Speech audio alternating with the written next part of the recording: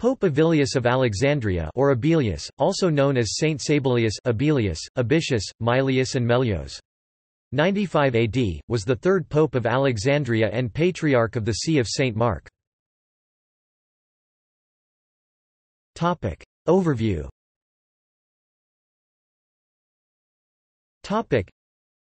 Upon the death of Pope Anianus of Alexandria, the suffragan bishops and priests of the area converged with the laity in Alexandria, Egypt and talked about the next appointment to the position. Avilius was unanimously elected in the month of December 83 AD, during the reign of the Roman Emperor Titus Flavius Domitianus. Pope Avilius was known for his chastity, and was pious and caring towards the people of Christ. He continued to establish the people in faith and the Christians grew in number in Egypt and in the five western provinces, and Sudan.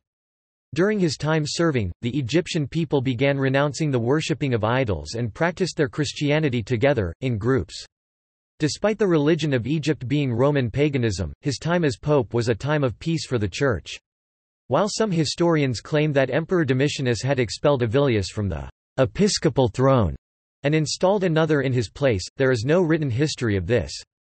According to historical records, he remained in his position for 12 years, and departed on 1 Thout the 11th of September, in the year 95 AD. Avilius was buried next to the remains of Saint Mark the Evangelist in the Church of Baucalis in Alexandria, Egypt. Veneration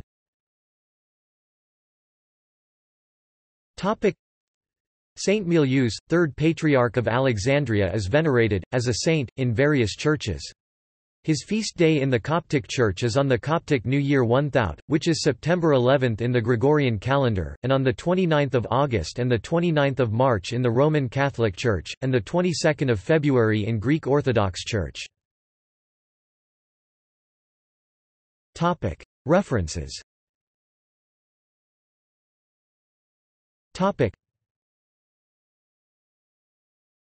Topic. External links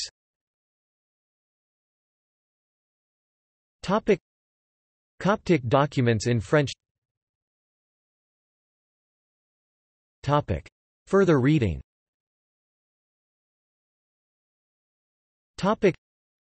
Holweck, F. G., A Biographical Dictionary of the Saints. St. Louis, Mo., B. Herder Book Co., 1924. Atiya, Aziz S. The Coptic Encyclopedia. New York, Macmillan Publishing Co., 1991.